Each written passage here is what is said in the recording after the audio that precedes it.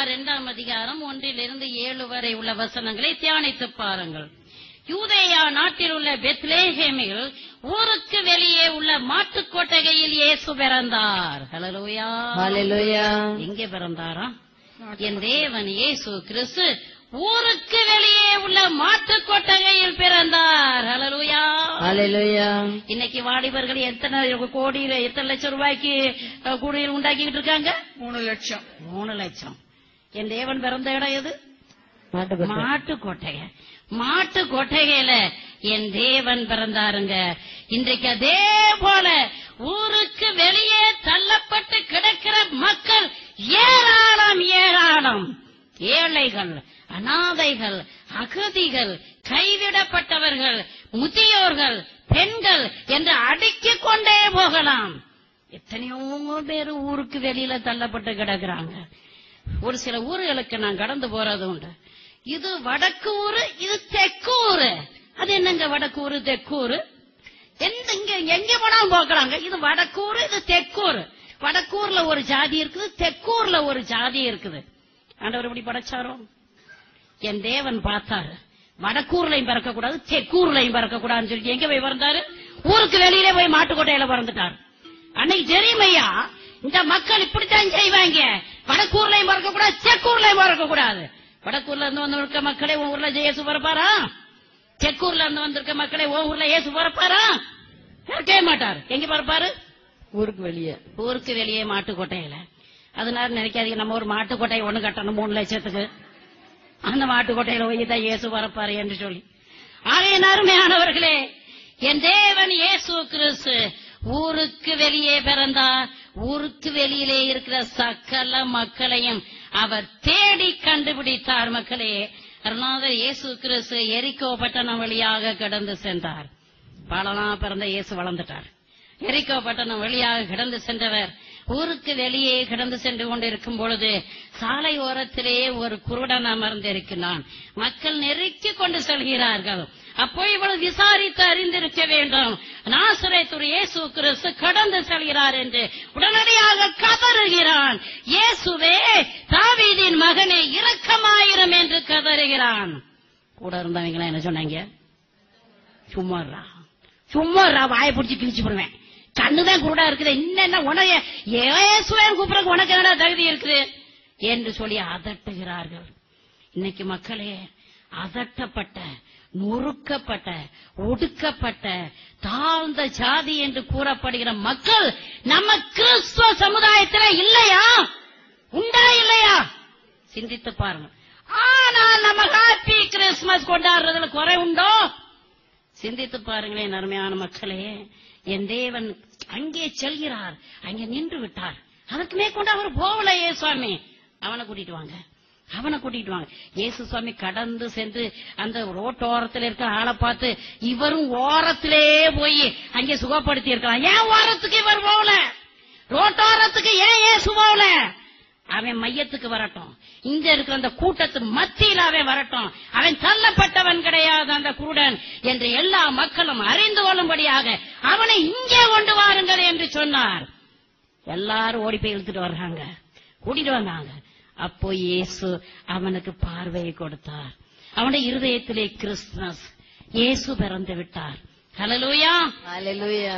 மக்களே பார்வையற்ற மக்கள் நம்ம மத்தியில எத்தனையோ பேர் உண்டு.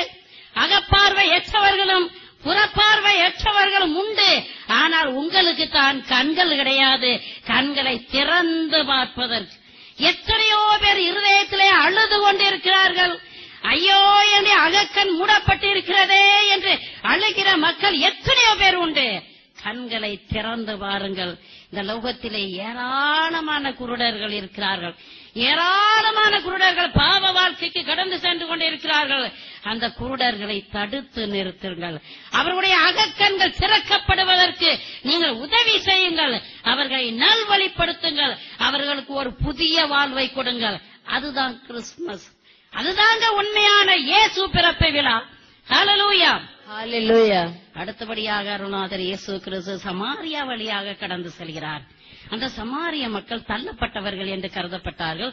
யூதர்கள் உயர்ந்த இனத்தைச் சேர்ந்தவர்கள் என்றும் சமாரியர்கள் தாழ்த்தப்பட்டவர்கள் என்றும் கருதப்பட்ட ஒரு சூழ்நிலை.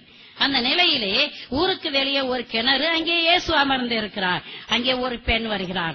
அவர் சமுதாயத்தால் தள்ளப்பட்ட பெண் பெண் என்ற நிலையிலே தள்ளப்பட்டவள் பாவி என்ற நிலையிலே தள்ளப்பட்டவர். இப்படிப்பட்ட சூழ்நிலையிலே பயந்து நடுங்கி அவர் நட்ட நடு மத்தியானத்திலே தண்ணீர் எடுக்க வருகிறார் அங்கே அமர்ந்திருக்கிறார் இயேசு சுவாமி. என் தேவன் அந்த மகளுடைய இருதயத்தை காண்கிறார்.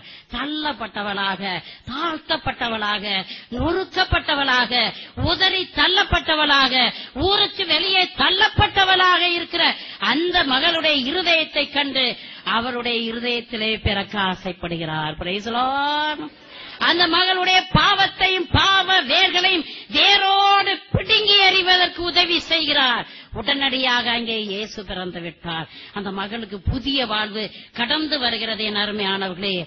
இப்படியாக நீங்கள் செய்ய வேண்டும். எவன் குடும்பத்திலேயோ குடிச்சு அழியிறான் நமக்கென்ன?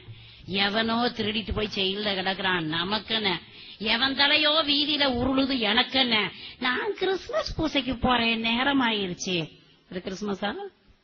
இது கிறிஸ்துமஸா சிந்திச்சு பாருங்க. ஹலலோயா ஹalleluya. ஹalleluya. என் அருமையானவர்களே இன்னைக்கு அநேக நோய்வாய்ப்பட்டவர்கள் நம்ம சமுதாயத்தில் இருக்கிறார்கள் சமுதாயத்தை விட்டு தள்ளப்பட்ட நிலையிலும் இருக்கிறார்கள். அருணாதர் இயேசு கிறிஸ்து ஒருமுறை குஷ்டரோகிகளை சந்திக்கிறார். குஷ்டரோகிகள் சமுதாயத்திலிருந்து ஊருக்கு வெளியே தள்ளப்பட்ட நிலையில் அவர்கள் கிடைக்கிறார்கள். அவர்களை சந்தித்து அவர்களை சொஸ்தமாக்குகிறார்.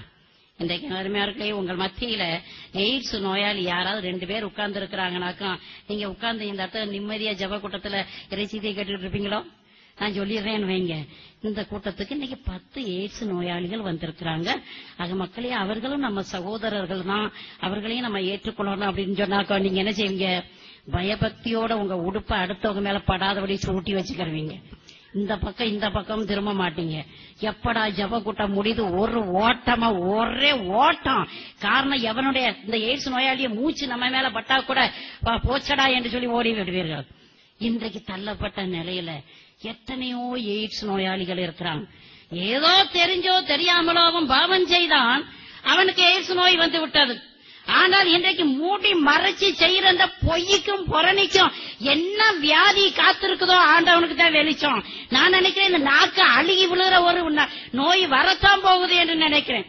வாயை திறந்தாவே பொய் வாயை திறந்தா புறணி சண்டை சச்சரவு அசுத்த வார்த்தைகள் இதெல்லாம் முடிஞ்ச பிறகு பயபக்தியோடு பூசையில கடந்து சென்று ஆமே வாங்கிட்டு வந்துருவீங்க. சுவாமி உன் இருதயத்துல பிறப்பார் நான் நினைக்கிறேன். பிறக்கவே மாட்டார்.